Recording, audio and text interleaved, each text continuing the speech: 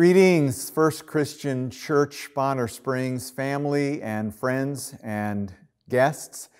I'm Rick Jordan. It is the weekend of September 12 and 13. Joining me in the sanctuary are Dick and Dot Espy, Connie Henry, Leanne Detar Newbert. You'll also be hearing from Pat Manahan during this worship experience. We have an array of prayer groups, Bible study groups.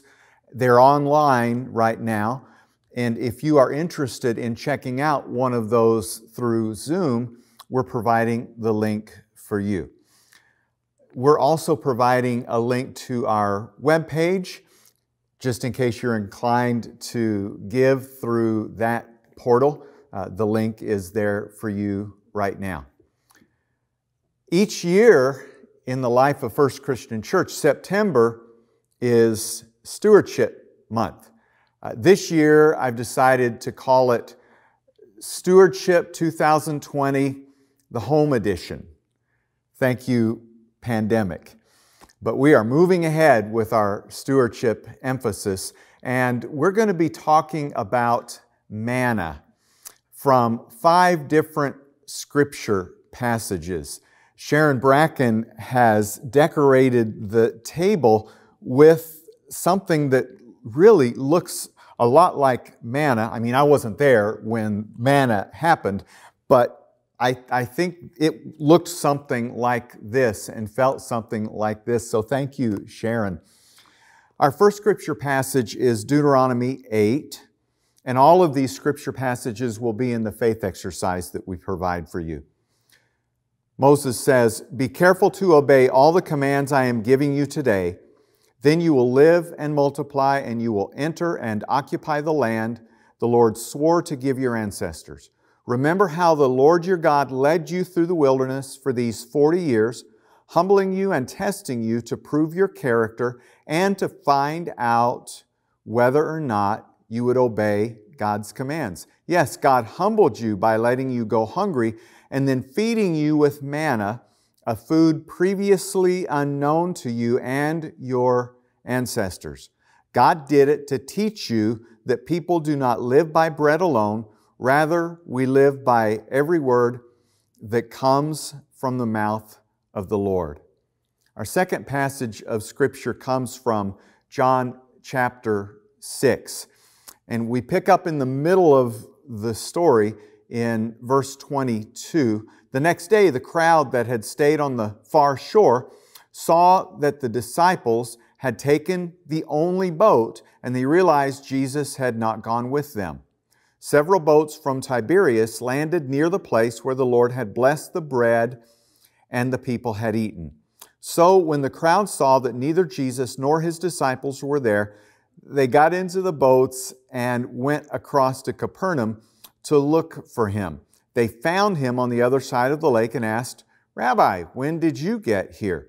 Jesus replied, I tell you the truth. You want to be with me because I fed you, not because you understood the miraculous signs. But don't be concerned about perishable things like food. Spend your energy seeking the eternal life that the Son of Man can give you. For God the Father has given me the seal of his approval. They replied, we want to perform God's works too. What should we do? Jesus told them, This is the only work God wants from you. Believe in the one God has sent. They answered, Show us a miraculous sign if you want us to believe in you. What can you do? After all, our ancestors ate manna while they journeyed through the wilderness. The scriptures say Moses gave them bread from heaven to eat. Jesus said, I tell you the truth. Moses didn't give you bread from heaven. My Father did. And now he offers you the true bread from heaven. The true bread of God is the one who comes down from heaven and gives life to the world. Sir, they said, give us that bread every day. Jesus replied, I am the bread of life. Whoever comes to me will never be hungry again. Whoever believes in me will never be thirsty. And then one more. Acts chapter 4, describing the early church. Verse 32 All the believers were united in heart and mind, and they felt that what they owned was not their own, so they shared everything they had. The apostles testified powerfully to the resurrection of the Lord Jesus, and God's great blessing was upon them all. There were no needy people among them because those who owned land or houses would sell them and bring the money to the apostles to give to those in need. For instance, there was Joseph, the one the apostles nicknamed Barnabas, which means son of encouragement. He was from the tribe of Levi and came from the island of Cyprus. He sold a field he owned and brought the money to the apostles. That was a mouthful. It will make sense in just a few minutes. Following the sermon, Leanne will be leading us in communion, and we want you to use whatever elements you have on hand. We are disciples of Christ, a movement for wholeness in a fragmented world. As part of the one body of Christ, we welcome all to the table in the same way that God in Christ welcomes us to the table. As Connie plays, let's prepare our hearts for worship.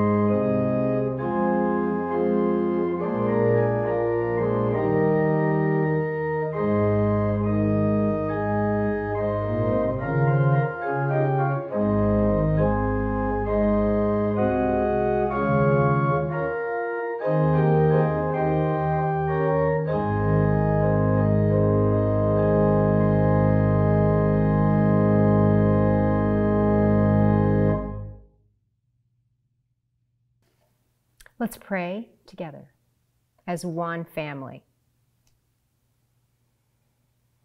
Jesus, our manna, we meet you here as one family in worship. In every time and every place in history, people have always needed you as Redeemer. Whenever people are oppressed, they're hungry for you, and you are the answer to their needs. Everywhere people struggle with the inevitability of sickness and disease and death and, and heartbreak. They are hungry for you, and you are the answer to their needs. At every point in history, when people have searched for meaning and significance, they have been hungrily searching for you, and you are the answer to their needs. Hungry hearts of this harvest are ready for you, Jesus, to show them the way to future and hope. We praise you, Lord, our living bread. You are everything we need. We praise you that we are given the Holy Spirit in abundance and that all our needs are realized in you. We pray this in the authority of the name of that gift, Jesus, who taught us to pray, saying, Our Father, who art in heaven, hallowed be thy name. Thy kingdom come, thy will be done on earth as it is in heaven. Give us this day our daily bread, and forgive us our sins as we forgive those who sin against us and lead us not into temptation, but deliver us from the evil one. For thine is the kingdom, and the power, and the glory forever. Amen.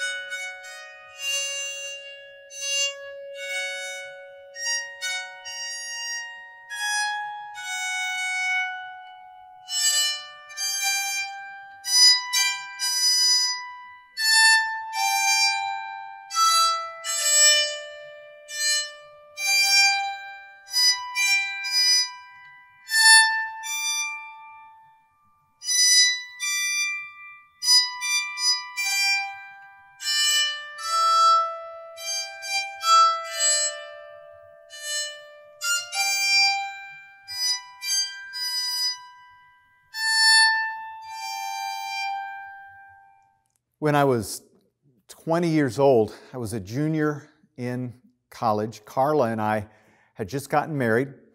We were living in Bolivar, Missouri. I was called to pastor Oak Grove Baptist Church near Lebanon, Lebanon, Missouri, out in the middle of the Ozarks. This church was very Ozarkian they had just installed indoor plumbing before we got there. Until that time, they had used an outhouse. This church had services on Sunday mornings and Sunday nights. Carla and I could not afford to drive back and forth twice on a Sunday, so following morning worship, one of the church families would host us for lunch. We would hang out there for the afternoon, and then return to church for evening worship, and then we would drive back to Bolivar. These are folks who basically ate what they either grew or shot or pulled out of the water. I was a source of entertainment, even more than Carla, because whenever we would sit down at one of their tables, they would not identify what we were about to eat until after we had eaten it. Then we would discover that we had eaten something called head cheese, like the head of a pig, the face of a pig. And then there were the Rocky Mountain oysters. Not going to say a word about that. But they took pleasure in watching the look on Carla's face and the look on my face. We wanted to ask, What is it? What is it? What is it? But that wasn't the rule of the game. Turns out the question, What is it? shows up in the Bible in the passages that we are looking at. Exodus chapter 16 and Deuteronomy 8, among other passages, tell the story. God had delivered a group of people called the Hebrews from Egyptian slavery. They had been slaves in Egypt for hundreds of years. They had been in the wilderness for a little while. They were hungry and they started bitterly complaining and they were working some revisionist history into their complaining and saying to Moses, We had it so much better back in Egypt. Have you ever practiced revisionist history yourself when you look at what really were the bad old days, but now you're thinking them as, uh, that they are the good old days compared to present reality? So they were complaining. God fed them with manna. In the Hebrew language, manna literally means, What is it? The, the Hebrew word can actually be this a question mark and an exclamation point. In other words, they were asking, What is it? And God was replying, That's exactly right. That's what it is. Manna was miracle bread wafers provided by God to God's people out in the middle of the wilderness. It was flake like, it resembled morning frost or dew, very much like what Sharon has put on the table. Manna was sweet, it tasted kind of like honey wafers. It was incredibly versatile, maybe like tofu. It could be boiled, it could be baked, it could be eaten raw. So on any given day, you could have manna burgers or manna tetrazzini. If it's Mexican food night, you could have mannaritos. If it was Italian night, you could have manigetti or maybe manicotti. I could go on, but I'm not going to go on. So, five mornings a week, they would wake up and they would find what is it? Covering the ground. And it was enough for everybody to take one day's worth because it only lasted one day. Now, on the sixth day of each week, God told them to take two days' worth because of the Sabbath, the day of rest. And on those days, the manna miraculously lasted twice as long as it did at any other time. The quantity of the manna was always precisely sufficient. People who didn't need much received exactly what they needed. People who needed more received exactly what they needed. Maybe you've already guessed, manna was only good when God's people trusted and obeyed God with this manna. When God's people jumped lanes by going outside of God's instructions, taking more than they needed, the manna rotted before their very eyes. When God's people tried to stash the manna, it rotted before their eyes. The purpose of the manna, beyond nutrition, was to teach people that God was the one taking care of them and that they really, really, really could obediently rely on God day to day. So, for 40 years, God sustained Israel with this heavenly, what is it? Are you picking up on God's economic system? Are you learning anything about what the economy looks like when God is manifestly present? God's economy looks like equality.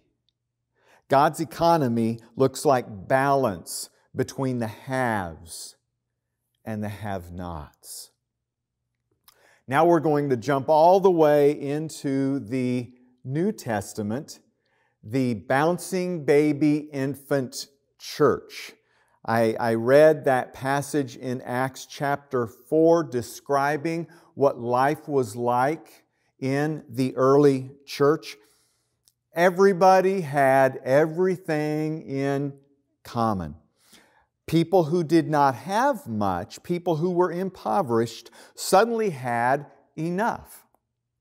And you heard it when I read it. They had enough because the people who had more than they needed shared what they had. In this case, the daily provision from God was their love for one another. Their love for one another became the manna.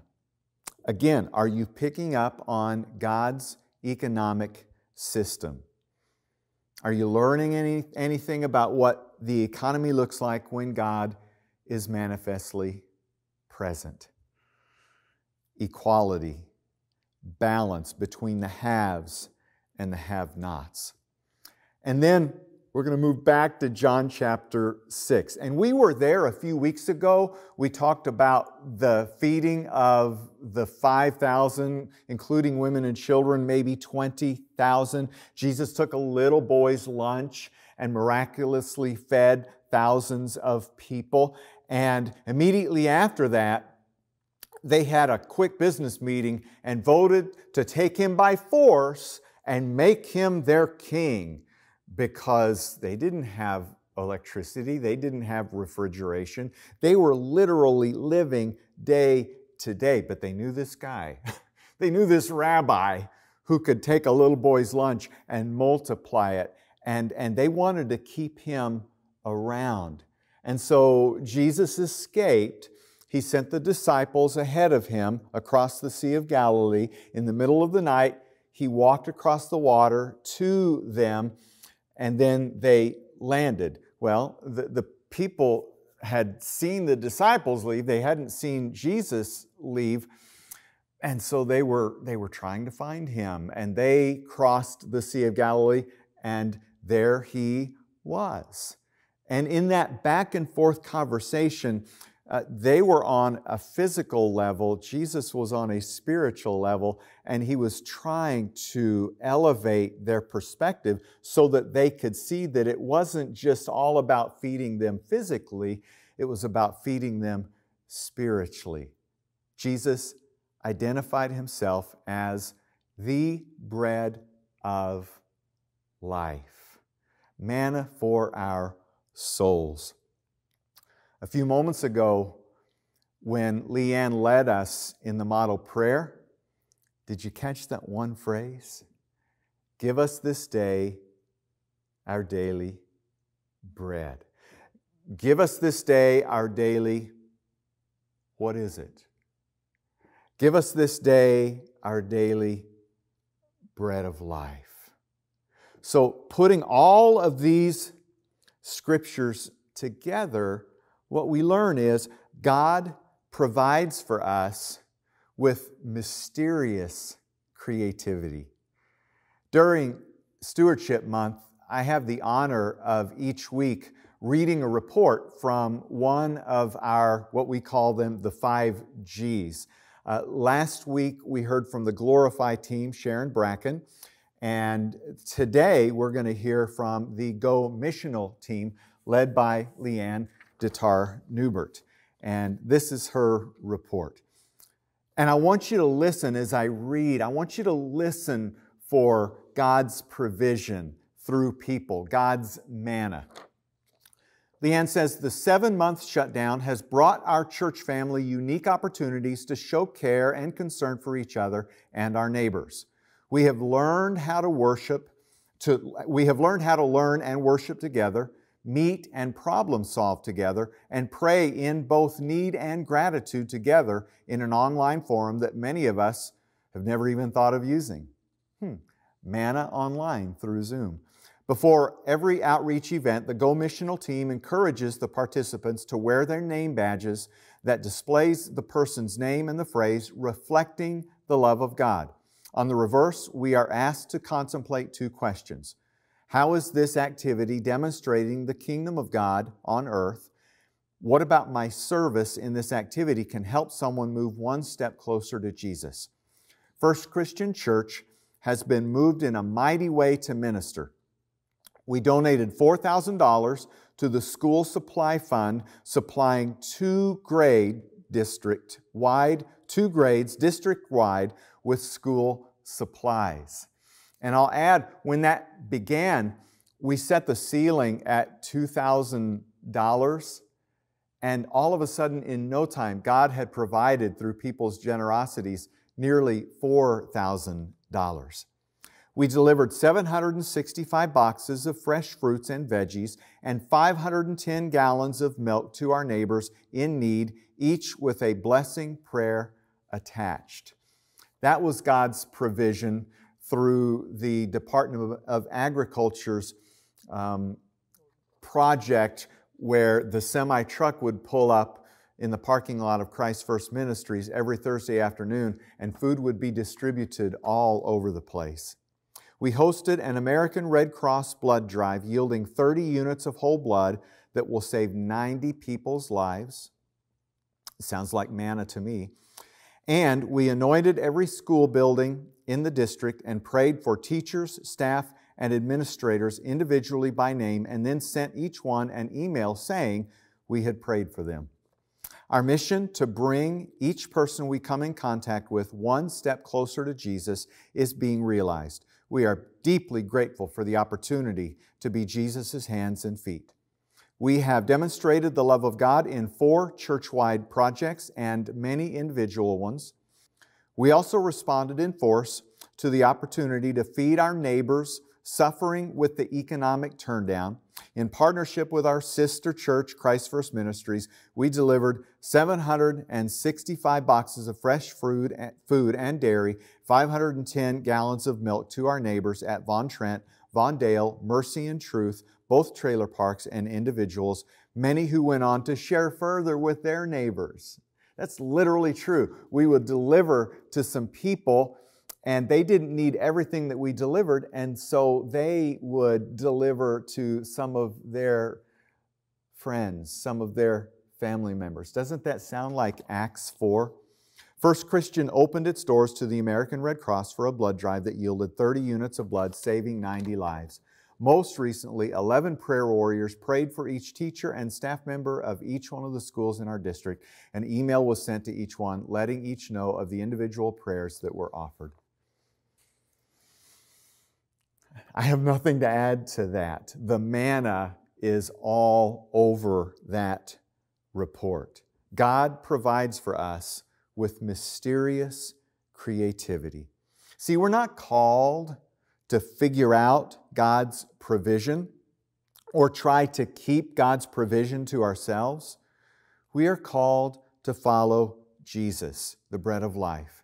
We are called to let the bread of life provide what we need as we need it when we need it. We do nobody any good by hoarding or stashing what God provides. God's economy is enough for everybody. And God lets us join God in that manna action.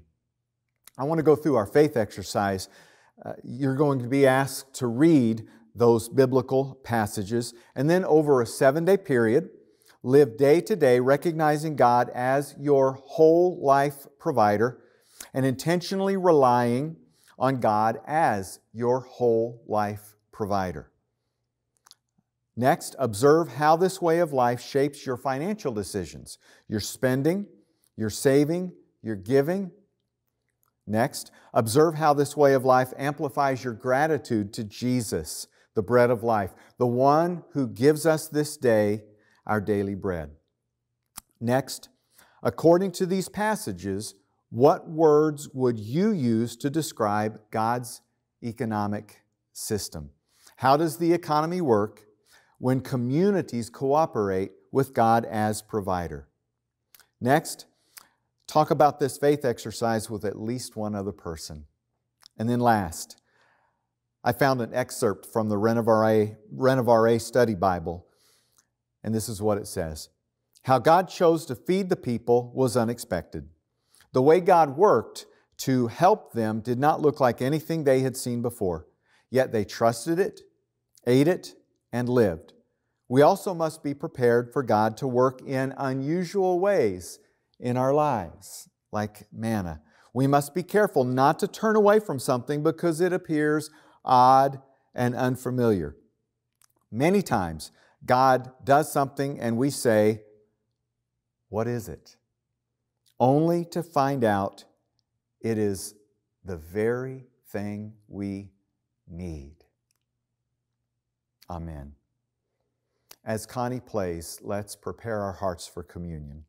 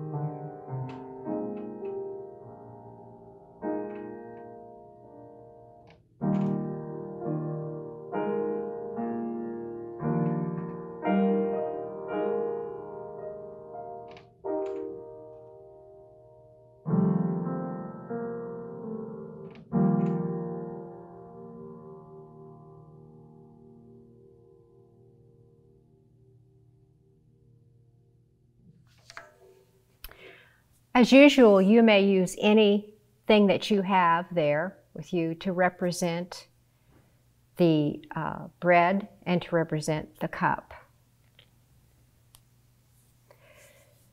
There's a choice that each one of us has to make every time we approach the Lord's Supper here. We have to decide whether or not we are going to politely think it's a ritual that we do every week, or that it is a ritual that happens before the very face of Almighty God. Communion is the physical sign of God's abundant provision. It's the love that does not judge or condemn us, but the love that saves us. The cup is the symbol of his blood shed for us. We know that from the Old Testament the shedding of blood was necessary for the forgiveness of sins. The bread is the symbol of the body given for us that we might be nourished spiritually and deeply. For those who believe, there is no condemnation in Christ. Communion is not just a pair of ingredients used in a ritual. It is the reminder of our Savior's unconditional love for all of us who believe in Him. We are gathered as one family at the table. Let us examine our hearts before God. Pray with me. Almighty God, as we approach this table, which is familiar to us, help us never to take it lightly. Help us always to have an encounter with you, the God of our great provision. Each and every time we remember you in the, in the symbols. We give you thanks for Jesus, who was willing to display his love so lavishly upon us to die on the cross. And as we take these elements, Lord, help us to recommit ourselves to sharing the great provision that you have given us with all we meet. In the honor and in the name of Jesus, the Savior.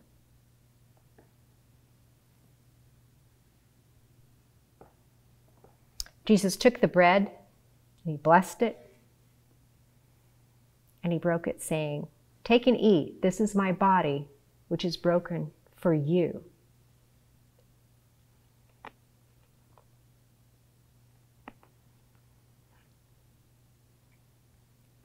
And after the supper, he took the cup.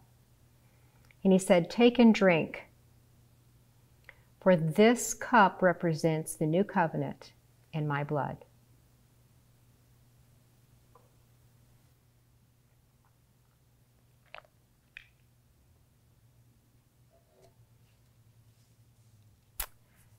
Now, for our closing benediction. If you have found some of the good bread of Christ here this day, then don't hesitate to share it with others.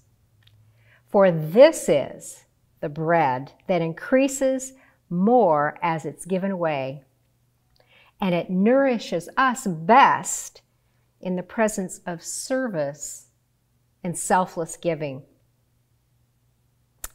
Go on your way in good spirits, for the best is yet to come. The grace of our Savior, the love of our Creator, and the friendship of our enabler be, will be with us this day and forevermore in abundance. Amen.